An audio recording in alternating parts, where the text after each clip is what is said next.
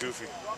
All right, I'm here with Coach Barsby of the men's tennis team. Coach, how do you think uh, today, the opening day of the Windstream tournament went? I think we played pretty solid. Uh, our young guys were up and down a little bit, but the guys who were playing for us last year had a real good day.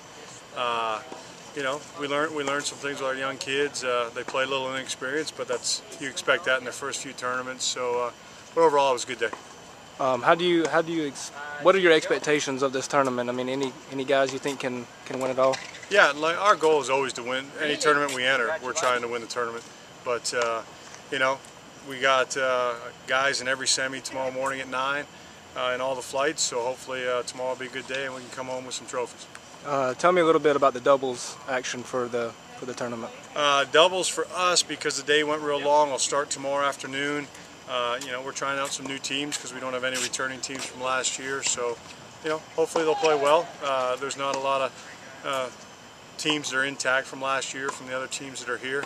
So uh, it'll be an experience for all the coaches, but hopefully our guys, you know, they looked real good today as far as being in shape and able to handle the heat. So hopefully uh, tomorrow on a long day they'll be able to pull it off at the end. All right, thank you, Coach. No problem.